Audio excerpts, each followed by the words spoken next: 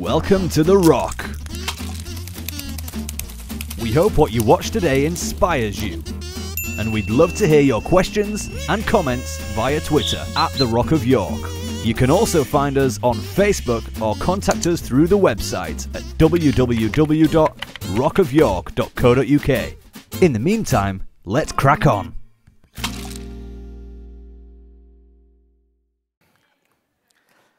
All right, so I have some props again tonight. Not that you're going to get this every week.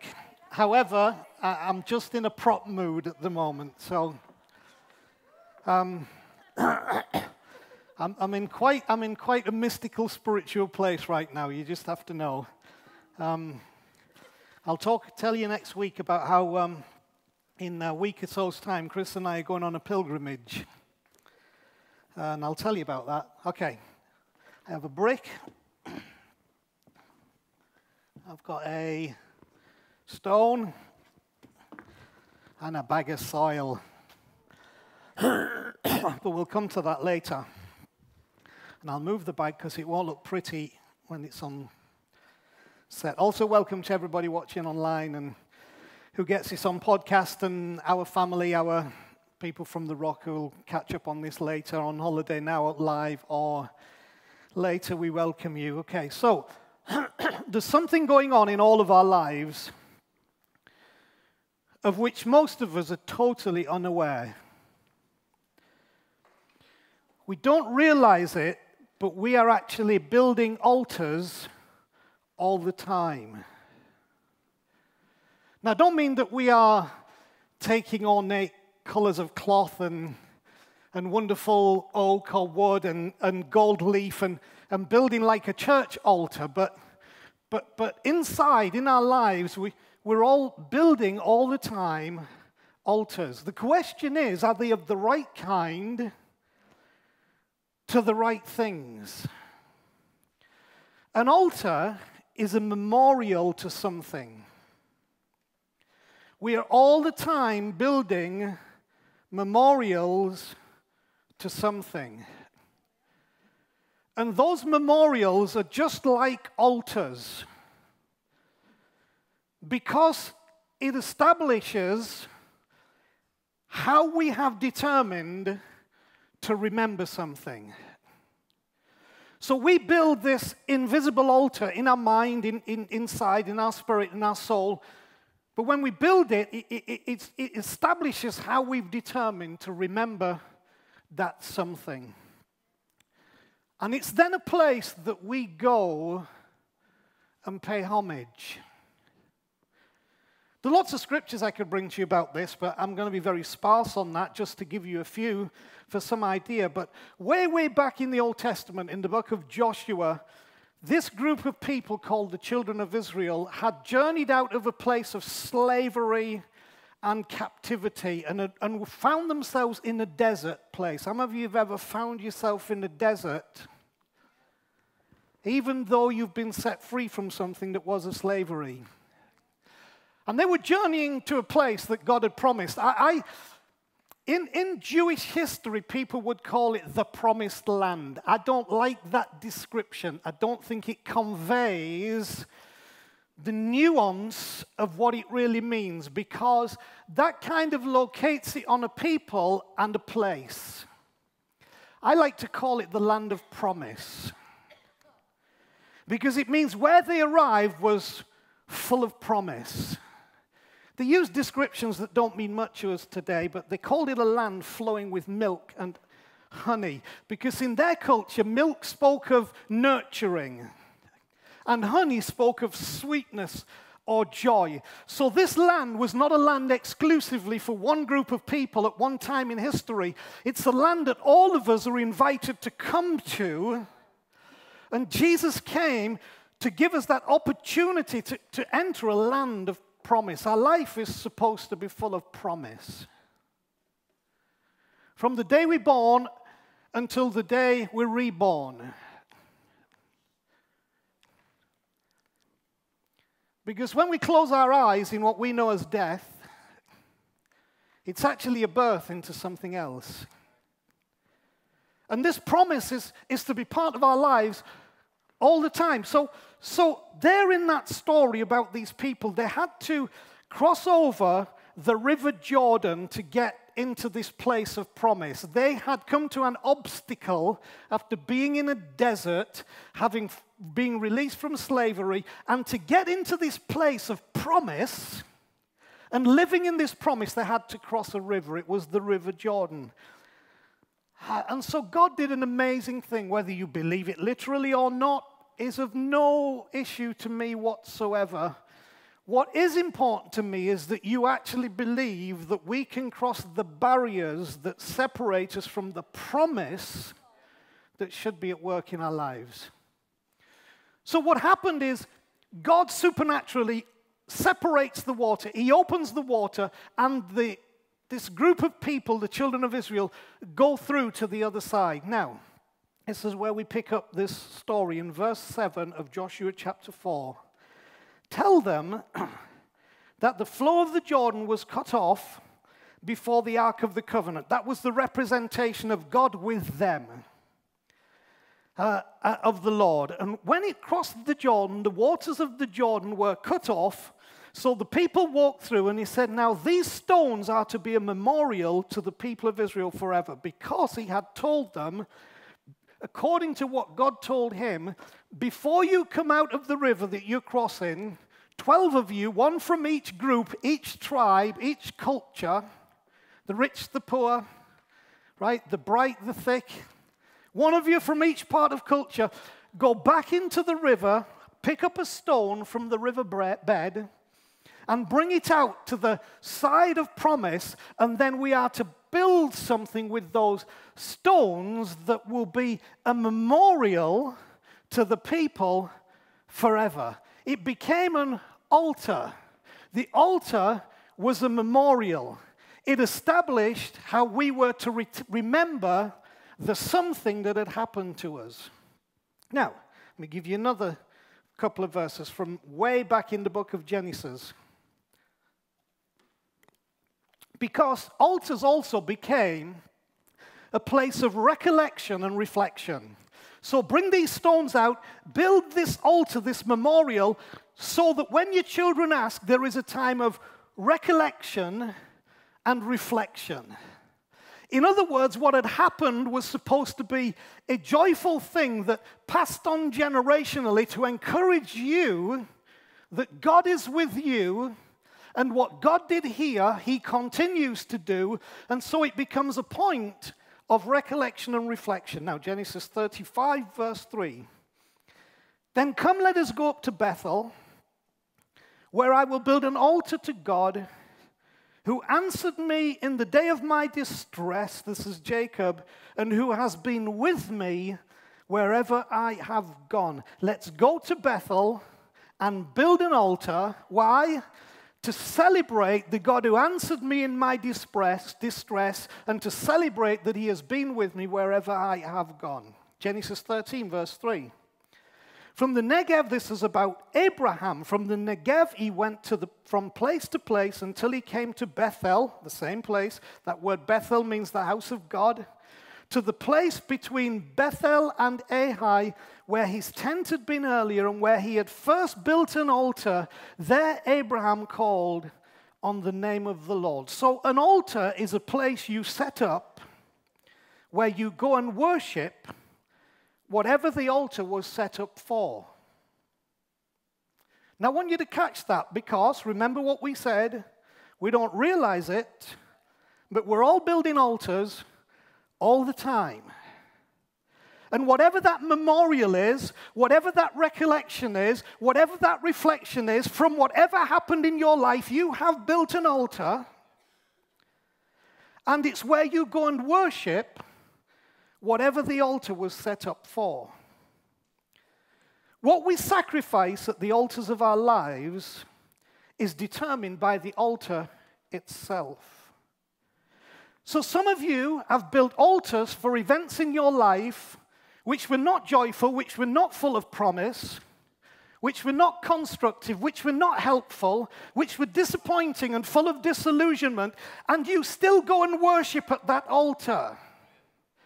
And here's what you sacrifice your peace, your contentment, your well being, your hope, your faith, your expectancy, and ultimately your sanity is what you sacrifice on that altar. What we sacrifice at those altars is determined by the altar itself. So don't build altars which allow you to keep revisiting the sin and disappointment of a situation. Don't build altars that allow you to keep revisiting the devastation and the disappointment of a situation. Don't build altars that keep returning you to the frustration and the disillusionment of a situation because you will build an altar to something and you will worship at that altar and you will give something of yourself in sacrifice. You better make sure if all of us are building altars all the time that they're the right kind of altar to the right things.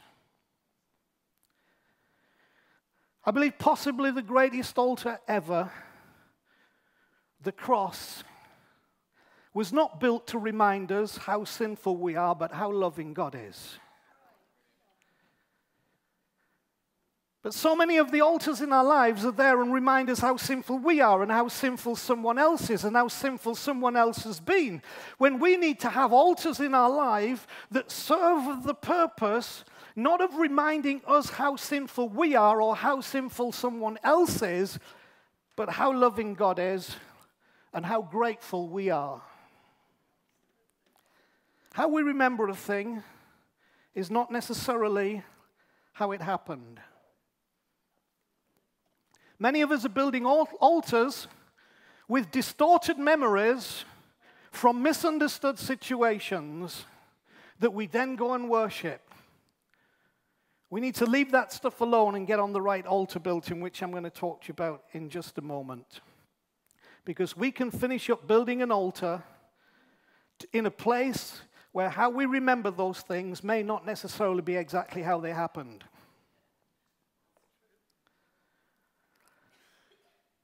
We don't build enough altars of the right kind in our lives.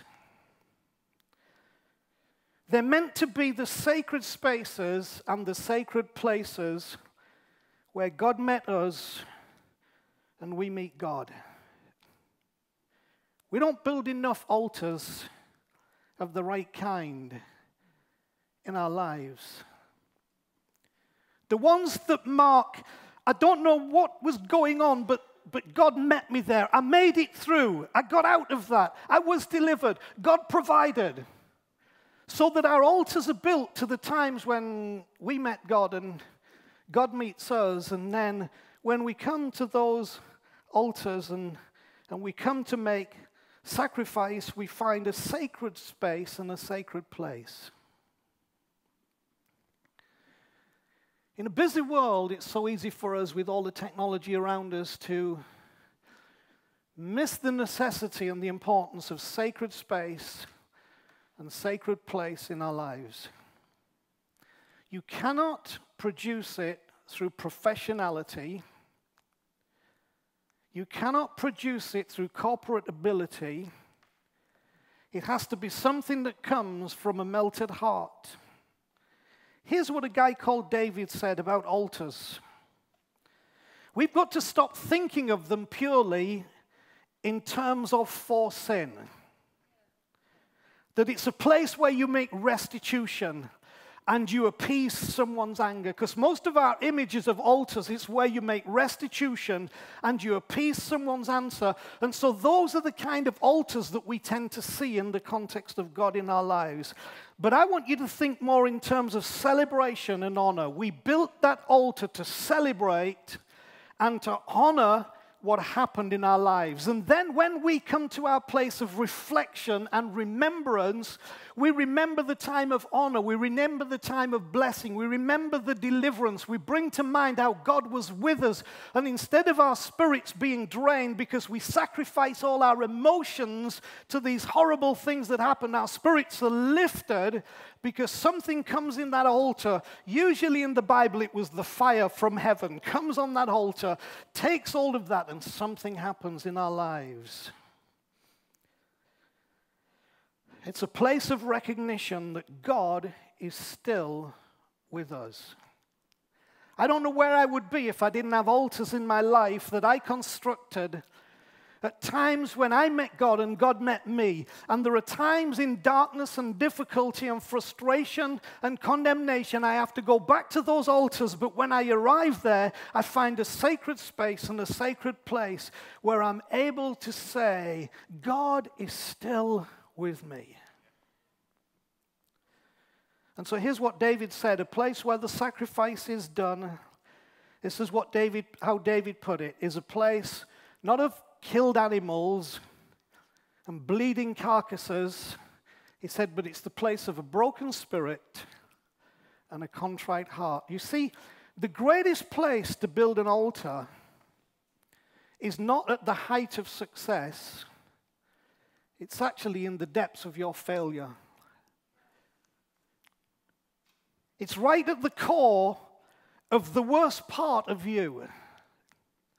The, the, the, very thing that, that is the point of our own lives that we ourselves are even disappointed with because we see it as a place of, of brokenness. But David says, build an altar in the brokenness and build it with a contrite heart. That means a heart that says, God, I need you. I know you're with me, but if I build an altar to, to you right here, right now, the sacrifice that comes will change my life because it's not going to cost me my sanity and my peace and my hope and my faith. It's going to build those things. The Bible has many instances of the need to tear down altars. Altars that were erected to commemorate the honoring of the false. Now, I could put in the word there the word gods but the moment I put in the word gods, your brain will go somewhere else than where I want it to go and where I think the Bible wants it to go.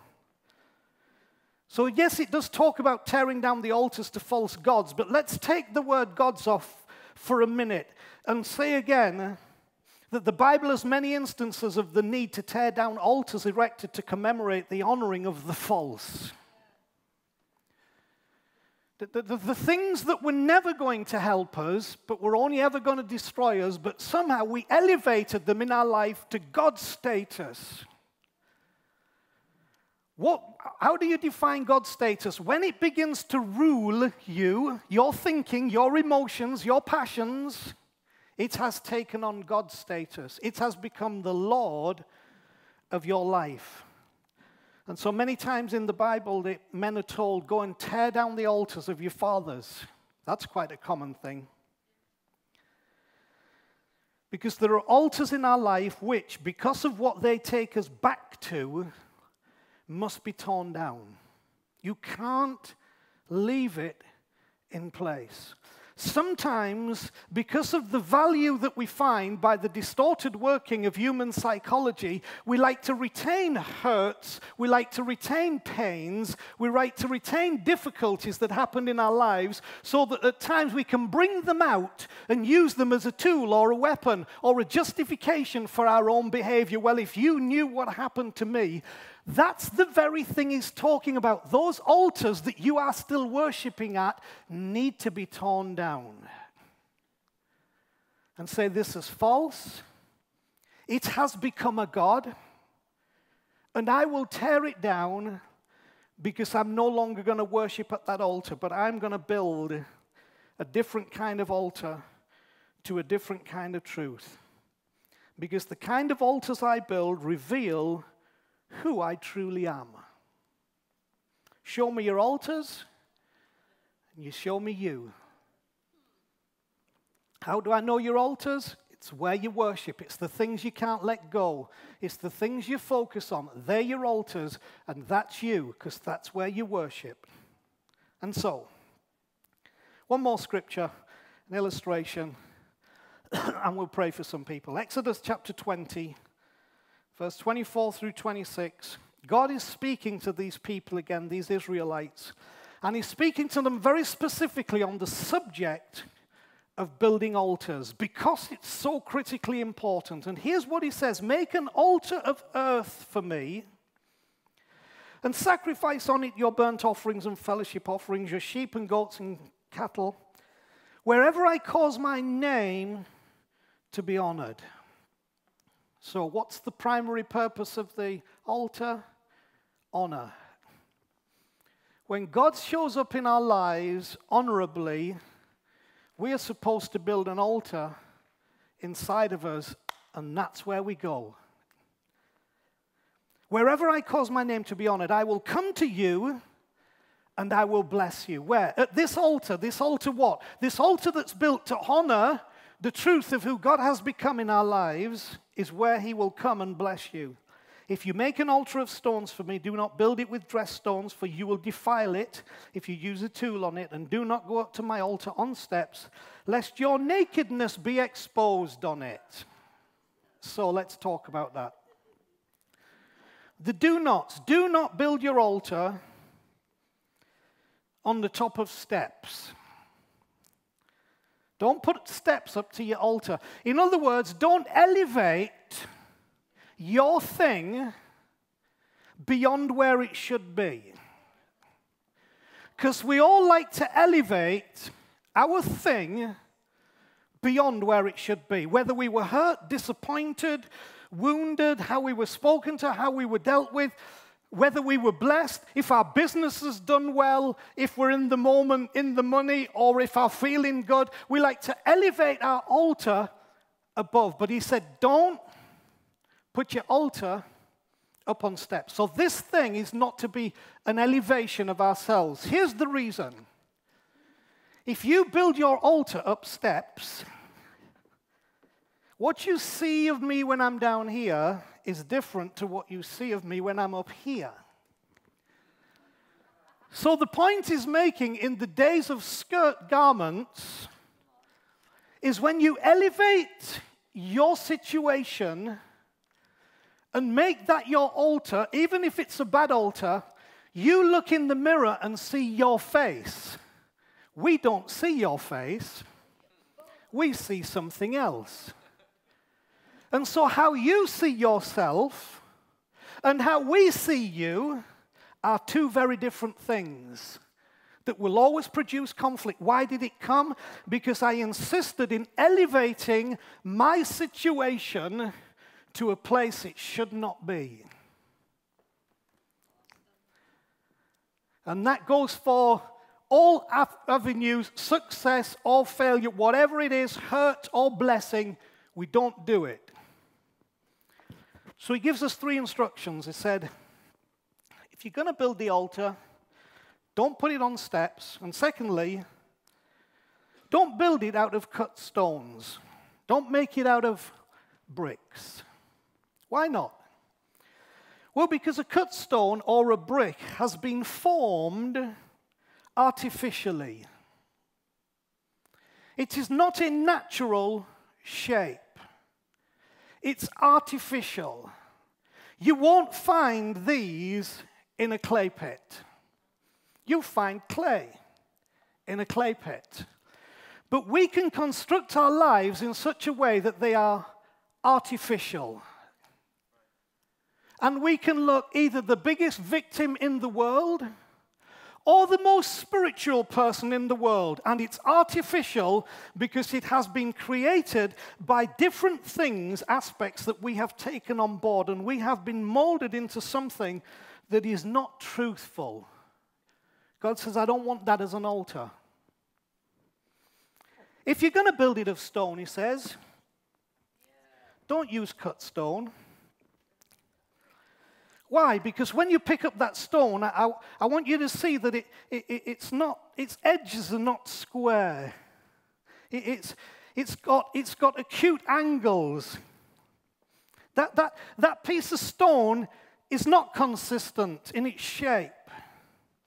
There are many things about that stone that you would say, how's that ever going to fit with anything? because it's irregular. But God says, if you're going to do stones, I want irregular stones. I want natural stones. I want them with their cracks. I want them with their holes. I want them with their weak points. I want them with their funny angles. If you're going to build it of stone, make it natural. Come as you are.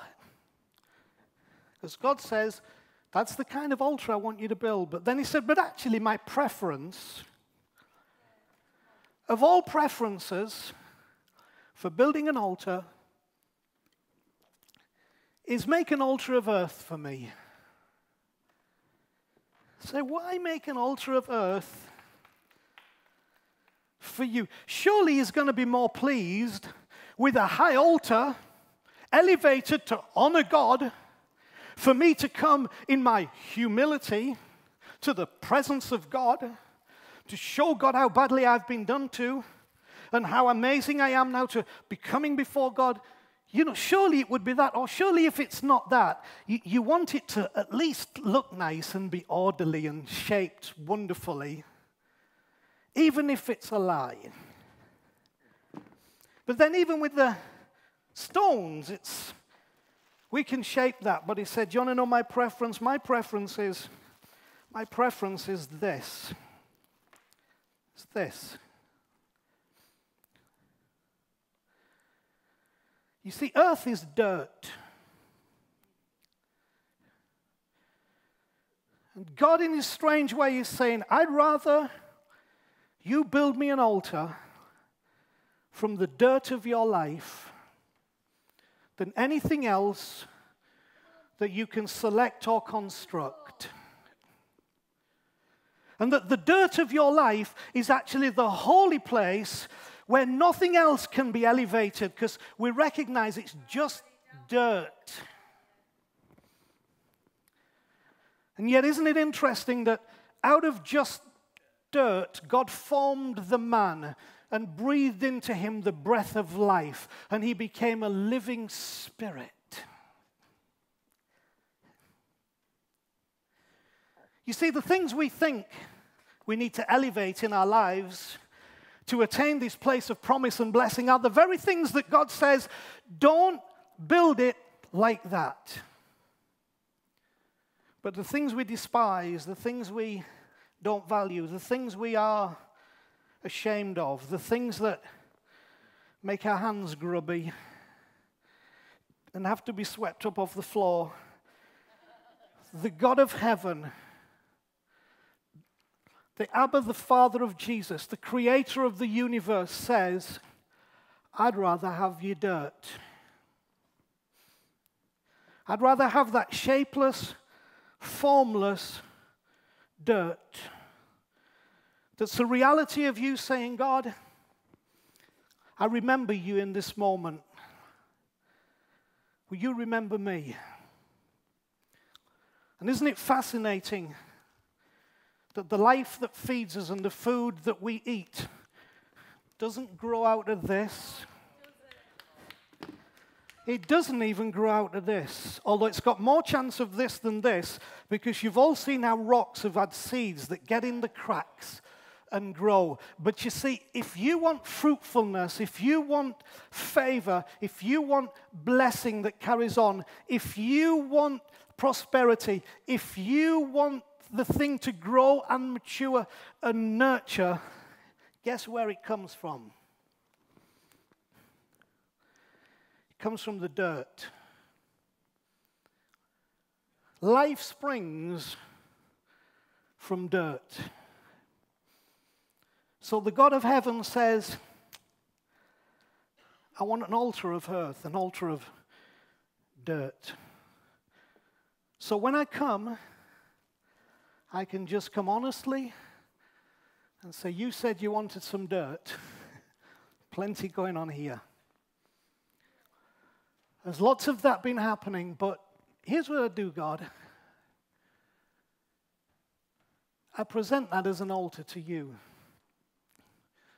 the dirt of that disappointment, the dirt of that situation, the dirt of that wound, the dirt of that pain, the dirt of that memory, the dirt of that failed dream, the dirt of that broken relationship, the dirt of my inability to deal with my own weaknesses. The dirt is what I bring, but today I bring it to you as an altar.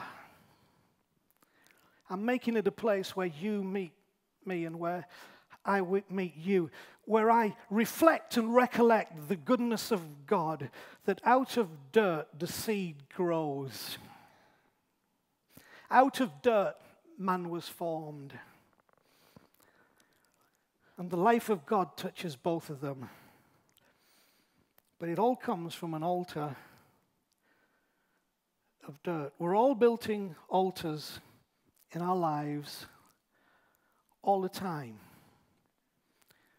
And we're all sacrificing to those altars all the time. And our sacrifices are defining who really is our God all the time. But I believe God says to us today, okay, can you think of those, those altars to the false? All the false stuff that's happened in our lives, the hiccups, the problems, the issues, the false starts, the false promises, the false expectations, where we've got that altar. Tear down the altar to the false, he says. And it means we have to tear that down today and say, no, no, no.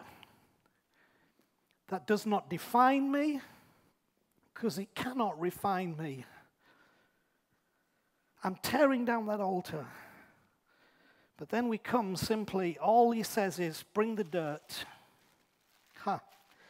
Do you know what's wonderful? You find dirt anywhere. God says, You think it's difficult to build an altar in your life that is a memorial to the presence and the power of me? Everything you need is around you everywhere all the time. It's just how you perceive it. So I take the dirt of my life and I say, God, today, this is where I am. But my life itself, right now, I make it an altar to you, to your goodness, to your faithfulness to your redeeming love. This altar is not talking about my sin, it's talking about your love. It's not talking about my unrighteousness, it's talking about your righteousness. It's not talking about my failures, it's talking about your success. And in this soil, there is seed, and the seed has life in it, and the seed will grow and produce. And I will have a harvest because in this worship I enter the land of promise It's just an altar of earth, and it's even got creatures in it. There's even living things in that right now. They're thinking, why are you disturbing me? This is my home. Well, when we get to the place of saying, Why are you disturbing me? This is my home. I haven't got time to condemn, criticize, abuse, be proud.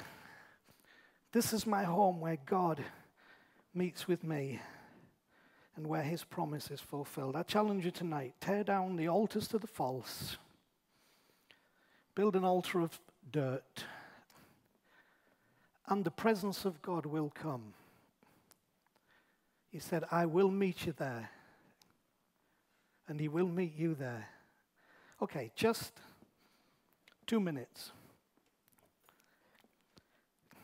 if, if you tonight know there are altars you need to tear down that are saying all those false things, the false starts, the false image, the false this, the false that, and you're coming saying, I'm not very polished, but, well, in fact, if, if you're up steps, we're not enjoying the view, okay? Come down. If you're saying I'm not polished, I, well, but tonight you say, God, I bring the dirt of my life because you have actually said that's the altar that you want. So here it is. Here am I. Touch me. If you're saying that tonight, I want you to do something very simple. I think sometimes it's important that we we can action what we're saying, and we're going to do this, won't take more than two minutes. I'm going to pray. But if that's you, I want you to stand to your feet right where you are. The altar of the false is coming down, but the altar of the dirt of my life right now I'm bringing, and God is going to meet me here. Does anybody want to stand and just? I'm going to pray a blessing on you right now.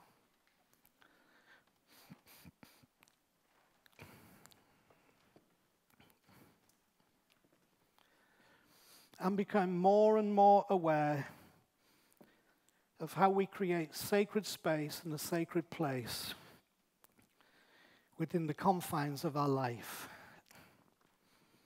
And it's all this simple stuff. And God says, I'll meet you there. King David says, God, I've sacrificed more lambs and, and sheep and goats and bulls than you can shake a stick at. But he said, I realize they would never get me where I need to be.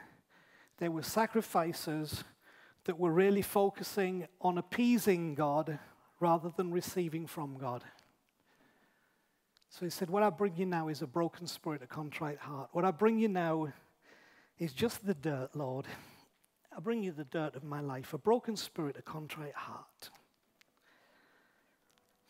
So that's where the blessing of God is. So I want to pray for you right now. Father, as I hold this, this, this dirt, this, this soil, this earth in my hand, I just release a blessing over everybody who stood in this place tonight because you know the confession of our hearts that we're tearing down the altar to the false. And we are now bringing ourselves as an altar to the true.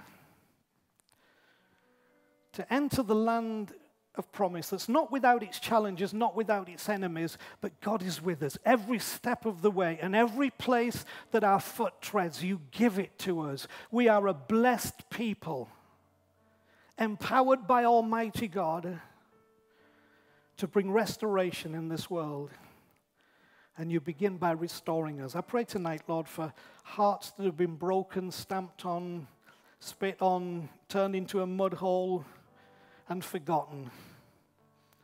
Where the wounds run deep and the pain, the pain is, is, is heavy. Right now, we tear down that altar. We refuse to worship there. We come into the space of your love and of your kindness and your restoration. You lift us up. You raise us up. You make us sit with you in the heaven places, not be trampled down in the hell of our circumstance. So, Father, in the simplicity of this prayer, I pray a blessing in this house. I pray a blessing over everyone who is stood. I pray a change in our lives. I pray as we worship at this altar of remembering God has been good to us, that your life will flow, that healing and deliverance and help and provision and healing and restoration will flow, that you prepare a table for us in the presence of our enemies and our cup overflows because our altar says, Surely goodness and mercy will follow me all the days of my life. I release it and we receive it in Jesus' name. Amen. Be blessed. Okay? Be blessed. If it helps you to grab hold of a piece of earth, be my guest. Okay, otherwise, go forth and prosper. And uh, we'll see you to celebrate on Wednesday night when we have our, uh, our razor glass. All right, God bless you. We're done. Thanks for watching. You can find out more about all the Rock is doing locally and internationally at www.rockofyork.co.uk. Then why not support The Rock from wherever you are? Just hit the donate button now to help us help others.